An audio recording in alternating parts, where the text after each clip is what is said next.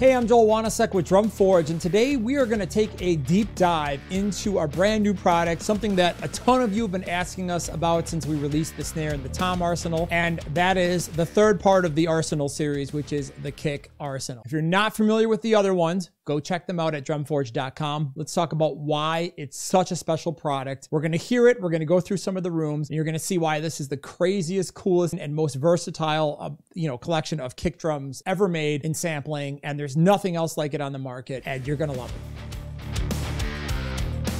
Snare Arsenal and the Tom Arsenal are some of our best selling products. People absolutely love them and my DM has just been destroyed over the last year with the Kick Arsenal requests. When's it coming out? Well, it's finally here. We really wanted to put some extra time into this one, really, really try to nail it. So, what is the Kick Arsenal? The Kick Arsenal is the ultimate collection of kick drums. To make the Kick Arsenal, what we did is we went to four different studios, right? And in each studio, we went around to different producers and, you know, drum techs and etc. and curated the best collection of kick drums that we could find that sounded incredible in those rooms. And we recorded them with all of these massive engineering setups. So you can basically feather in all these different types of tones and cover almost any genre that you can possibly conceive and get any sound out of it. But each room is totally unique to itself, has a totally different character, and it's even mixed to its best sonic attributes. All of these studios had fantastic gear collections. You know, it's very, very awesome. We had a really, really nerdy breakdown about this in the Snare Arsenal if you really want to go down that level of nerd. Okay, carrying on. So we've got 16 kick drums we cut here in the wood room.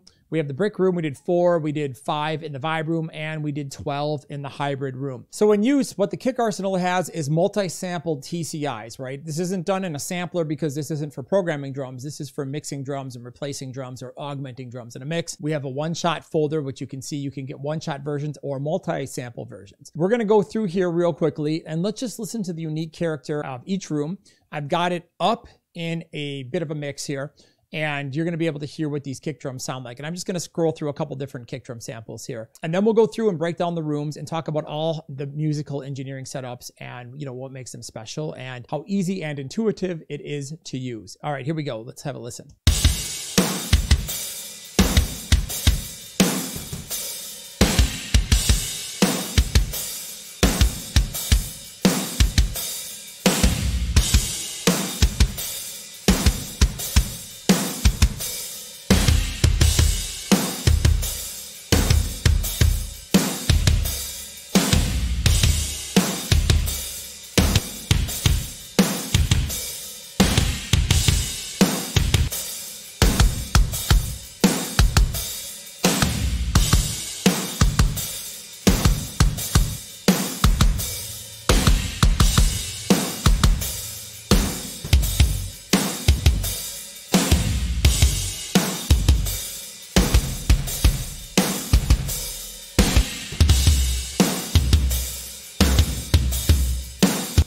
As you can see going through those real quickly, just getting a general vibe, there's an insane amount of difference in tonal options and different types of attacks. And you can literally get any type of kick drum sound. Now, if I was going through these in a mix, I would start out, find the right room sound, right, for your mix and the right type of energy. I would go through then, find the right kick, then come over here and start sliding through these faders here to get the perfect combination of that kick for your mix to make it stand out and really, really come to life. So now we're gonna head over to the wood room and we're gonna take a look at how it sounds and break out all of these different fader positions and see what's cool about them. Wood room is a very nice long room. It's very lively. It's got a lot of great reflections in it and it's got a really, really cool ambience. Now, if we go and listen to these mics individually, let's take all these faders down. Um, you can see that they're labeled in musical terms. So we have in, pop, thump, spread, tight, length, depth. So I'm going to shut up, hit play, and just raise and lower the faders so you can hear them. Here we go.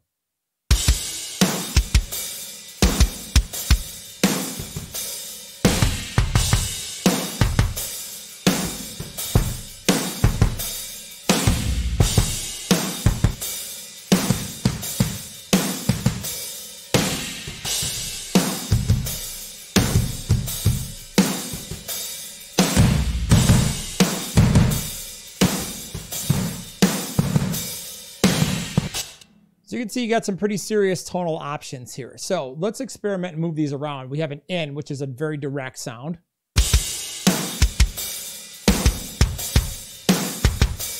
The pop mic is basically the SSL pop gate chick where you take the gate of an SSL hardware E series dynamics and you turn it into a pop. Check this out.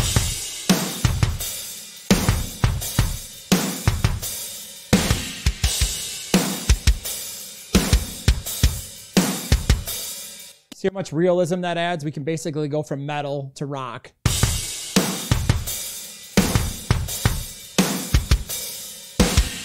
In seconds. Now, thump is pretty cool. This is going to give you some bottom end.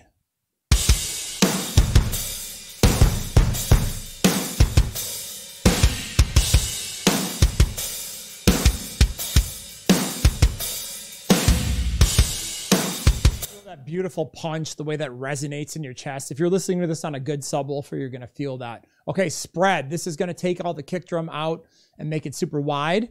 Now what's cool is if I wanted to make this less metal, I can go like this.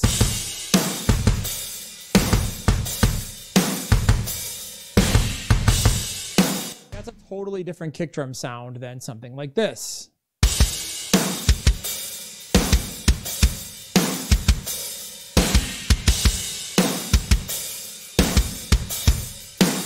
Kind of picture these as like different paint colors. You know, like do you want your kick drum to have more length to it more bloom? Do you want your kick drum to have a little bit more spread? Do you want it to be more focused and attacky? It's really, really neat when you're mixing because this is very fast and intuitive. And once you get used to it, you know how to dial it in. Okay, let's listen to tight.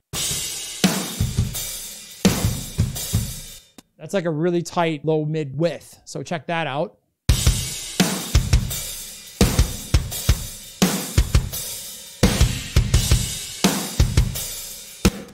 Metal kick and we just made it sound clicky, but it's also got a little bit more depth to it, a little bit more ambience, a lot more realism. Okay, next up we got length. That just gives it a nice long mono extension.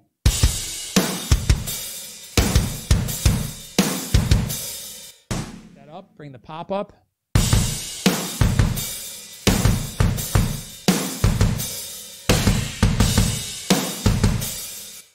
Got a really great alternative rock or indie kick that fast. We went from metal to that. So you can just see how these tonal options are really, really amazing as they play out across this. Okay, depth.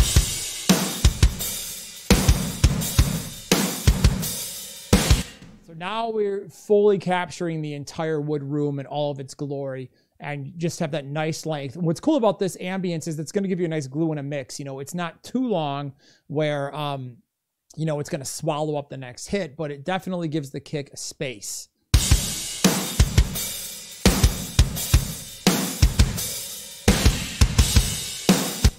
Moving these around, you can really play with these textures to get different types of vibes and realism in your kick, and it just sounds incredible.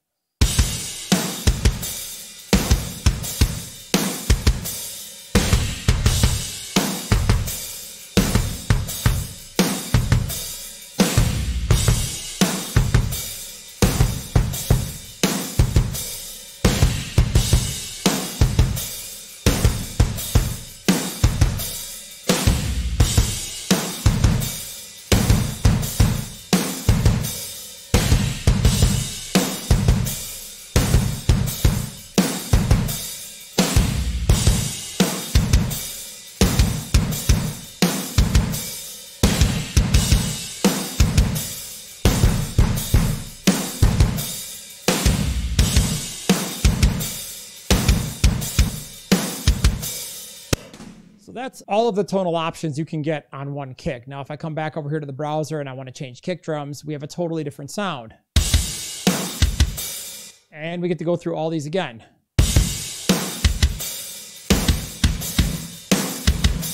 You can see how we can just come up with endless combinations of cool things.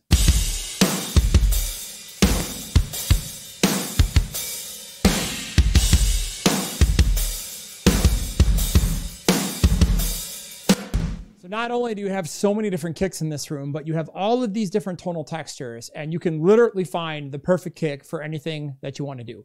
Now, there's something else really cool that I want to show you that you can do that I'm a huge fan of. So what I'm going to do is I'm going to come over here.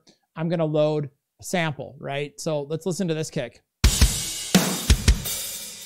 Now, say you have a favorite one shot sample that you want to load, but you want to make that one shot a little bit more dynamic and a little bit interesting. So I'm going to go load a one shot sample. So now I've loaded one of my favorite drum shots here from uh, Joey Sturgis's Fire Edition. So let's take this kick drum.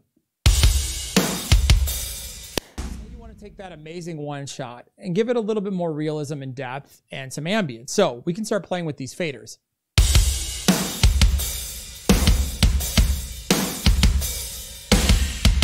That already sounds fantastic. Let's give it some length.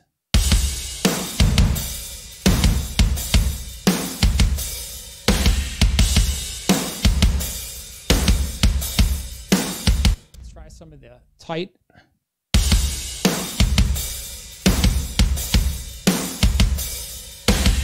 Now we've taken this one shot from here and we've transformed it into this.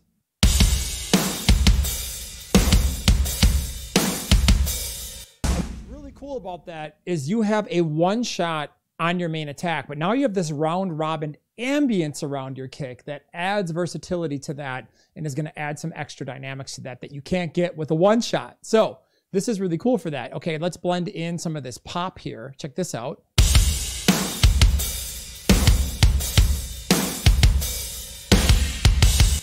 Fat, let's do the thump.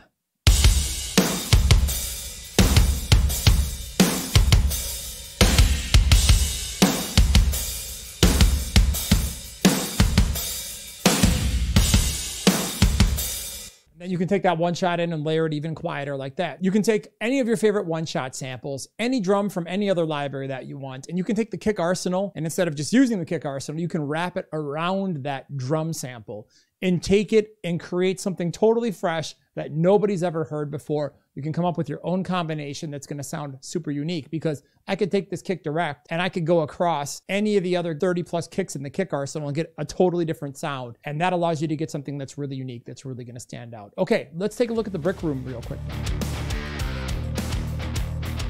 Next up, we've got the brick room. So the brick room isn't as long as the wood room. It's more, um, it's got a very much higher ceiling. Everything is covered in brick. It's got a very different character. So let's listen to this. And I just loaded up here, a kick three. Got a lot of different mic options. So we've got two different ends. Let's check this out and hear them. First one.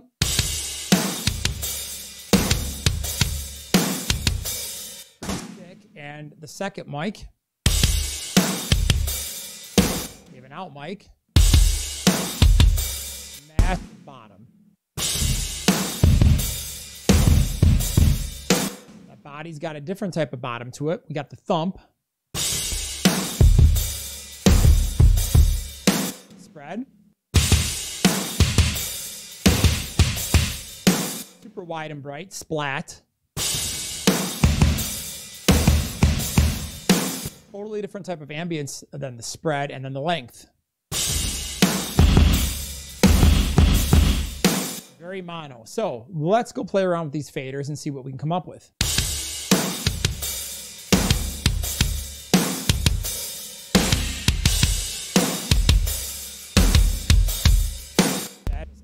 Fat kick. Let's add a little bit of length and splat to that.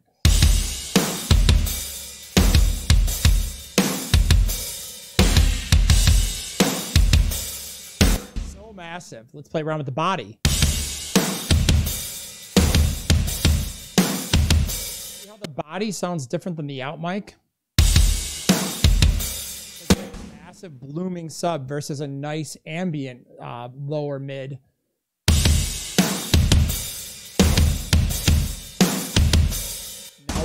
Thump.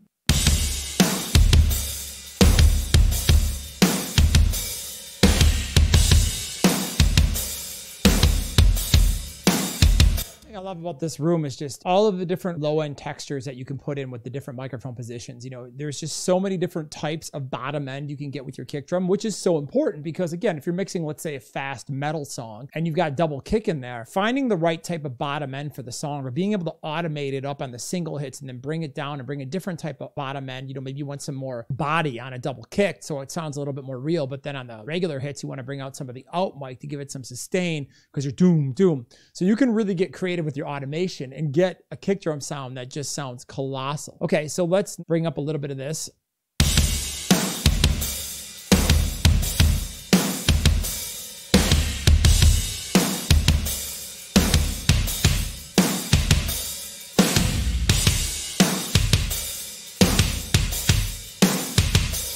Play around with the in and out.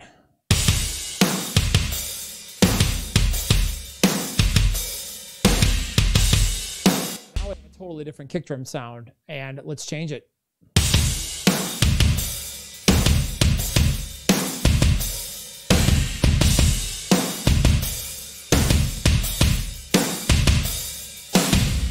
got something that sounds a little bit more indie rock.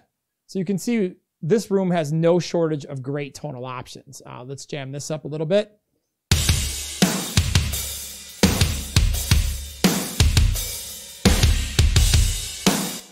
Three faders are amazing. So let's take some different faders here and go create a different tone.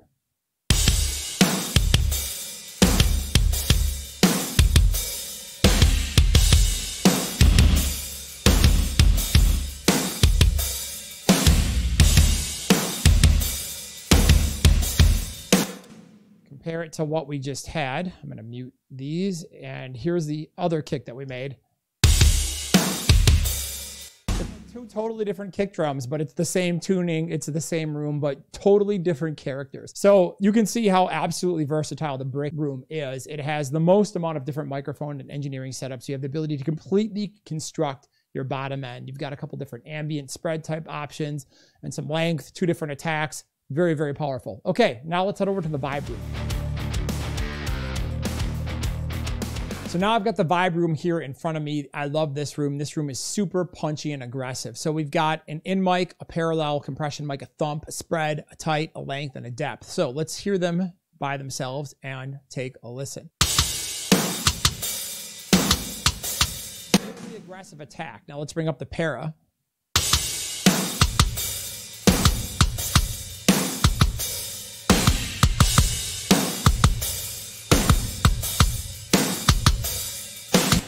How you can totally adjust the character of that attack. Okay, let's bring up the thump now and see what that sounds like.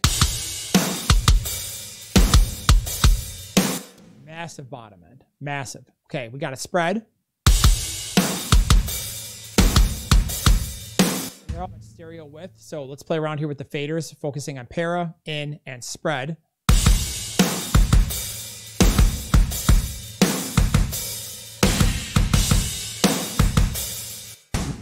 Tight. You can really hear the size of this room here. It's very, very tight, small, punchy studio, and it has so much energy contained in it.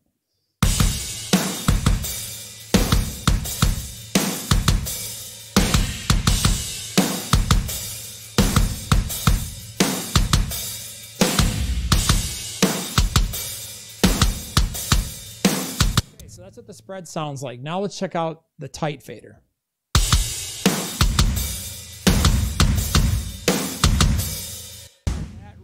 Elongates. You can hear how much compression that whole room is compressed, and it just really elongates the room and brings out all the character in it. So you can get a bigger sound. If you want a tight kick,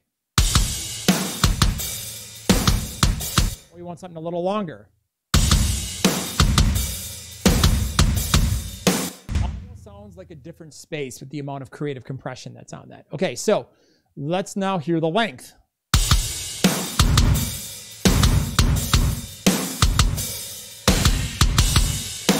Nice mono extension. And, and you can hear that, you know, not the best by itself, but if you blend that in. So for example, let's take the spread.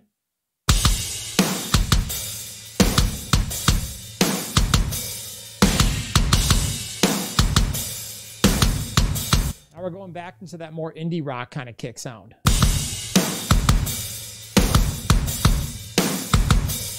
Big rock kick right there. So that length is really powerful. Again, it's subtle, but it's super musical. Okay, let's take the spread down and hear the depth.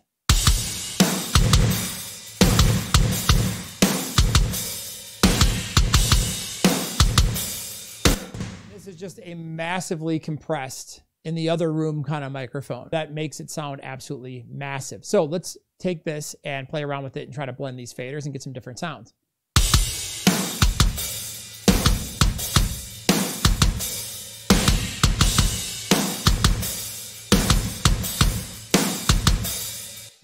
kick sound. Let's tweak this out with this.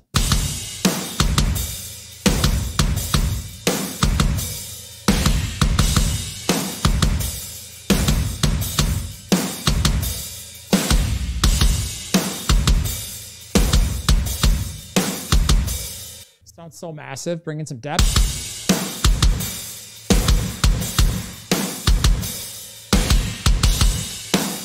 The Vibe Room has all of the punch and aggression that you're going to need to do a lot of modern stuff like active rock and things like that. This room really, really scorches and sounds great. Some of my favorite snares, personally, from the Snare Arsenal, come from the Vibe Room, and I use them in a lot of my mixes. Shh, don't tell anybody. All right, now let's move on to the hybrid room.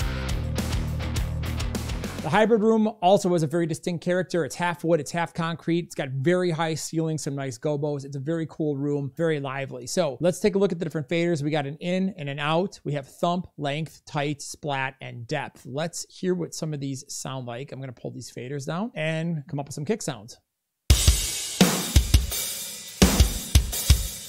Sounds like a direct. All right, let's bring out the out mic.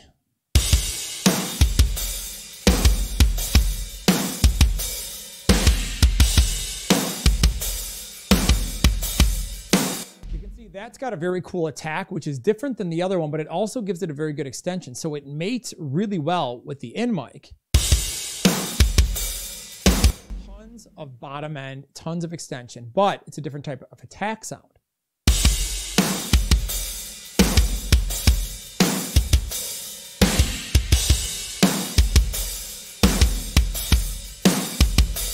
It sounds so massive, just that combination right there. Okay, next we have thump. You can hear it elongating the kick, really giving it that sub. So let's turn that up.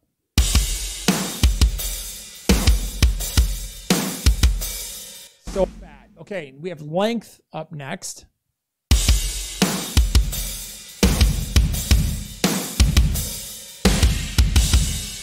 You hear how that really creates a nice ambience. So like, let's play around with the in and out.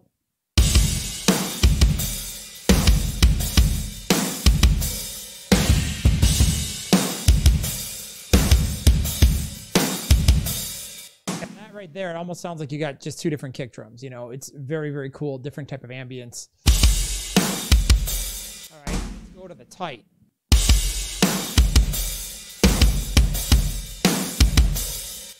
set of room mics that's tight and close and it just kind of widens everything out. But again, it sounds different than the length.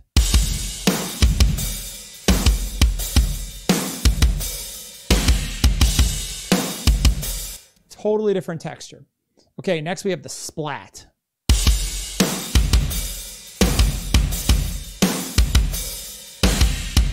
Absolutely sounds massive. Again, we'll play with the faders.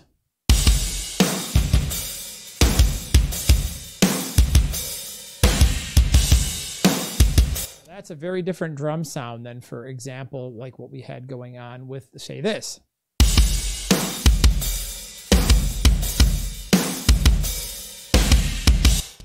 How amazing the colors are. It's like you can literally come in and just forge whatever kind of sound you want to create and just really get drums that stand out, that sound different, that sound unique. And that to me is the essence of mixing.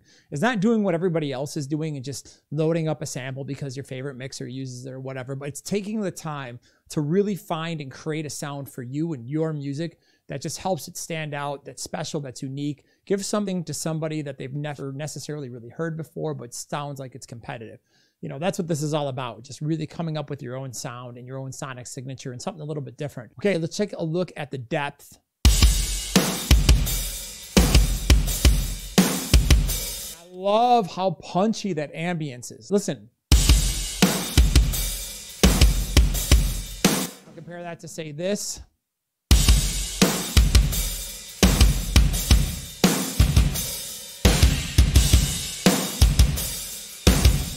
Like a totally different kick drum. It's just crazy.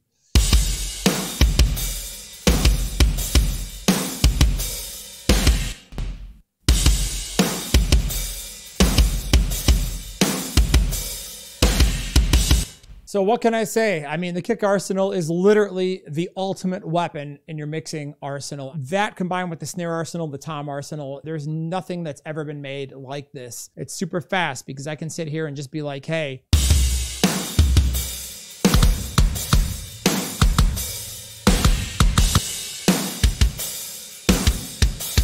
just find a kick that I get inspired by right away. It is a total special collection of samples. I think it's something that you're to love. Artistically, it's amazing the flexibility, the creativity you have, the amount of different types of sonic pictures you have, the ability to take your favorite samples, drop them in and add something around it to enhance them, to bring it to life, to give it a new texture, a new type of ambience. It's very quick, it's very fast. You have one shots, you have multi samples. What can I say? It's the Kick Arsenal. If you want to hear the Kick Arsenal in its full glory and some various different mixes, we have a playlist on the website where you can check that out. So if you want to get the Kick Arsenal today, you head over to drumforge.com. Thank you so much for watching this nerdy deep dive on kick drums, and we'll see you next time. Happy mixing.